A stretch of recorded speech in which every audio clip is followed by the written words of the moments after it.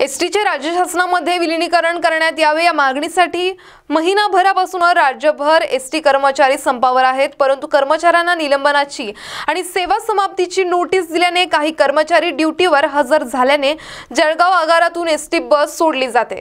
बऱ्याच दिवसांनंतर चोपडा बस स्थानकावर एस टी बस आली असून परंतु बस स्थानकामध्ये प्रवासी नसल्याने एक दोन प्रवासी घेऊन बस चोपड्याहून परत जळगावकडे निघाली यामध्ये बसलेल्या प्रवासी महिनाभरानंतर बसमध्ये बसल्याचे सांगण्यात आले खासगी वाहनांनी प्रवाशांची लूट होत आहे आणि गैरसोय होत आहे. तरी सर्व बसेस सुरू व्हावे जेणेकरून प्रवाशांचे हाल होणार नाही असे मत व्यक्त करण्यात आले आता एक महिन्यापासून तर बसेस बंद होत्या संपूर्ण महाराष्ट्रभर.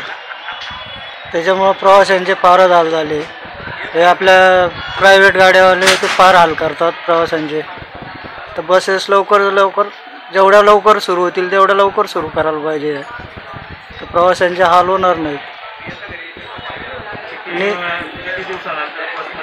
आता एक सरासरी एक महिना होऊन गेला. एक महिन्यापासून या बसेसचा संप संप चालला आहे त्यांच्या काय मागण्या आहेत ते त्यांच्या ते बघतील गव्हर्नमेंट काय ते. पण मग प्रवाशांचे फार हालवून राहिले त्याच्यामुळे. लवकर बस सुरू कराव्यात बुवा.